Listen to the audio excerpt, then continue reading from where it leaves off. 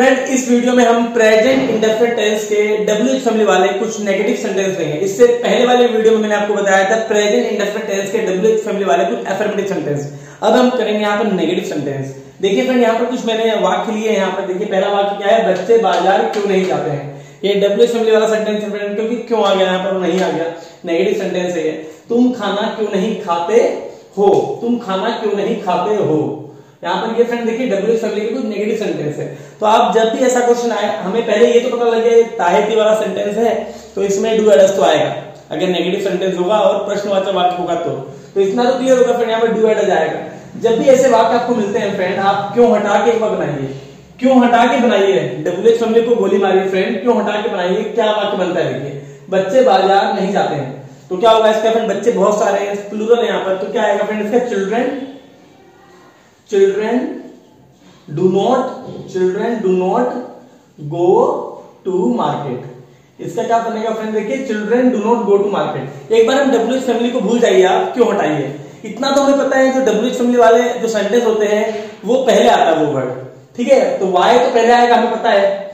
Y तो पहले आएगा हमें फ्रेंड यहाँ पर ये भी है जो इंटरगेटिव सेंटेंस होते हैं, उसमें डू या डज जो है वो पहले आता है, जो हेल्पिंग वर्ब होता है। तो यहाँ पर इसका कंप्लीट एवं वाक्य क्या बनेगा सेंटेंस ट्रांसलेट हो गया तो वाई डू यहाँ पर क्या आएगा friend why do children not go to market why do children not go to market अब आप बोलेंगे, मैंने आपको पहले कहा था कि सिंपल जो सेंटेंस होते हैं, अगर नेगेटिव सेंटेंस होता है तो नॉट तीन नंबर पे आता है। यहाँ पर तो ये चार नंबर पे हो गया, एक, दो, तीन, चार। ठीक है, चौथे नंबर पे नोट क्यों आ रहा है? अगर डब्ल्यू एच फैमिली वाला कोई भी सेंटेंस होगा फ्रेंड तो आप देख लीजिए काउंट कर लीजिएगा, जो नोट होगा वो फोर्थ नंबर पे आएगा। वैसे सिंपल सेंटेंस में नोट हमेशा तीन नंबर पे आता है फ्रेंड तो यहाँ पर क्या होगा friend why do children not go to market अब फ्रेंड यहाँ पर एक और वाक्य लेके देखते हैं, दूसरा वाक्य, तुम खाना क्यों नहीं खाते हो? मैंने क्या बोला आपको, एक बार क्यों हटा के मन में बनाइए इसको?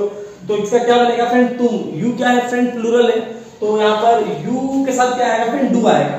You do not you do not it you do not eat food हम जानते हैं ना फ्रेंड यहाँ पर यू क्या है? प्लूरल तुम मैंने क्या पूरे इंग्लिश में तुम क्या है? प्लूरल दे क्या है? प्लूरल तो यू भी क्या होगा फ्रेंड प्लूरल होगा.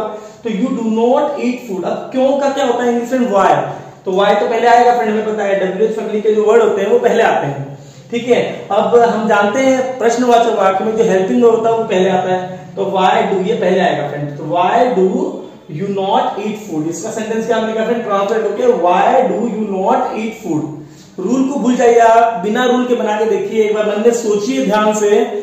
पूरा इंग्लिश आपको समझ में आएगा। बच्चे दसवीं बारहवीं तक ध्यान नहीं देते हैं फ्रेंड अब वो जब कॉलेज जाते हैं तो वहाँ उनको एक तरह से शर्म सी आती है कि उन्होंने इंग्लिश सीखा क्यों नहीं है। फ्रेंड बहुत आसान है इंग्लिश आप दसवीं, आठवीं जब क्लास में होते हैं, तभी से ध्यान दीजिए इंग्लिश में। बहुत सारे बच्चे होते हैं, वो कॉलेज लाइफ में जाते हैं, फिर उनको शर्म लगता है कि बहुत सारे बच्चे इंग्लिश बोल पा रहे हैं, वो नहीं बोल पा रहे हैं, फिर वो धक्के खाते हैं, फिर ज़बरदस्ती उनको इंग्लिश सीखना पड़ता है, एक टाइम आता है, वो इंग्लिश सीख लेते हैं। जब वो ग्रेजुएशन कर रहे थे तो उसको इंग्लिश समझ में नहीं आती है फ्रेंड फिर कॉलेज पास आउट होने के बाद वो अलग से कोचिंग लेते हैं, उनको मन में फील होता है कि अब तो खुद सीखना चाहिए इंग्लिश हमें। तो बाहर कोचिंग लेके इंग्लिश सीखते हैं, वो सीख भी लेते हैं। तब उनको रियलाइज़ होता है, बहुत आसान है इंग्लिश फ्रेंड अब ध्यान दीजिए फ्रेंड रूल के पीछे मत भागिए आप।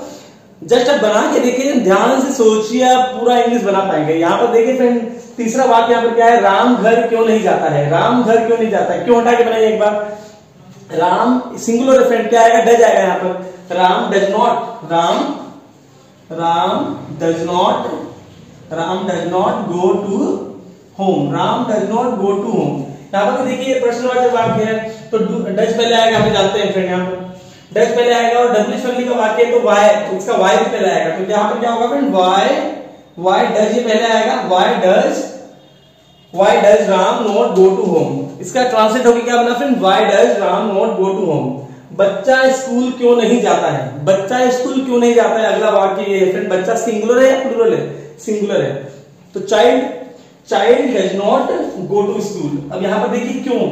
क्यों? क्या है ये डब्ल्यू फैमिली क्या है? तो वाई पहले आएगा तो यहाँ पर इसका इंग्लिश क्या लिखा why does child why the child not go to school why does child not go to school अब एक और वाक्य देखिए फ्रेंड तुम रोज बाज़ार क्यों जाते हो? तुम रोज बाज़ार क्यों जाते हो? इसका ट्रांसलेट फ्रेंड आप कमेंट करके बताइए, क्या होगा? इसका ट्रांसलेट कीजिए। आशा करता हूँ ये पूरा लेक्चर आपको समझ में आया होगा। अगर प्रेजेंट इंडेफिनेट टेंस का और कोई डाउट है आपको तो मेरे पिछले वीडियो आप जाके देख सकते हैं।